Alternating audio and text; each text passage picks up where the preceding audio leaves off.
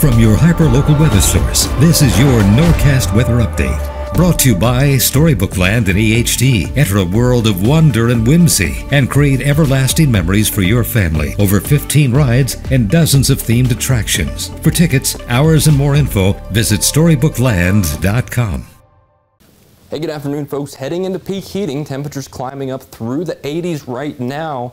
The implications of that moisture are certainly being felt across the area. Now, think rain chances are really starting to tick up here for those of us who do get some rain today. Uh, we're really starting to see that moisture take effect across the state. So we'll have to watch for those showers and storms here over the next couple hours, especially as the atmosphere gets a little more juice as that wind continues out of the south and southeast just barely. So we'll keep an eye on that there. Temperatures are going to be climbing probably around right now. It's about probably the peak, reasonably speaking. Temperatures will be in about the mid to upper 80s in some of the hot spots. Along the coast, we'll call it lower 80s, but notice those rain chances. That's what I'm talking about. Those are probably peaking right about now, lasting for the next four to six hours. So bring an umbrella if you want to go out and lunch.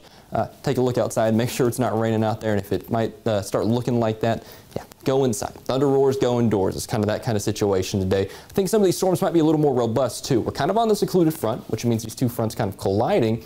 And then notice here, next few hours, storms start to pop up through the day, lasting through about 6 or 7 o'clock. So that's about what we can expect for today. Same for tomorrow as well. Maybe not a little more you know, might even be a little more widespread for our Sunday, to be quite honest with you. We keep this kind of occluded front here, blocking off any conditions from the west. Wind stays out of the south and east, and then boom, watch this. Through the afternoon through tomorrow, yeah, more rain chances, some of which might be on the more robust side if those storms can really establish themselves through tomorrow afternoon. I think we keep these rain chances through the first half of the week as well. I think the most robust rain chances are probably tomorrow, to be quite honest with you. I think the most widespread chances might be there, but we'll have to keep an eye on Monday as well. So big picture, let's see what we have in store long term. A lot of people have been asking about Lee. Want to touch on this one more time here just so we can see what we're talking about in terms of what we can expect. We're really not too sure at this moment. That's kind of the long and short of it. I can tell you this much though.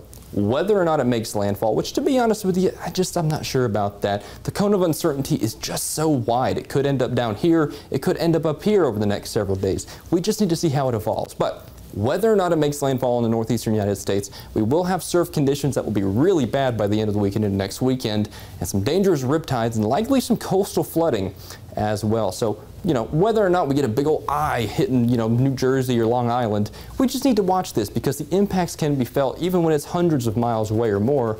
I think we know that better than anybody. So we'll just keep an eye on that in the big picture. Some other good news though, we are cooling off just a little bit. Much of the eastern United States is as well. So we have some nice conditions to look forward to, at least in terms of the sheer weather over the next 7 to 10 days. Now, rain chances over the next 5 or so days, especially through the first half of the week, but there, notice that cooling trend starting to pick up some wind as well by the end of the week when we get into that, you know, kind of influence of the wind field of Lee there. Of course, we'll keep an eye on that time frame, but in the meantime, just a few showers, pretty typical summer week. Thanks for watching.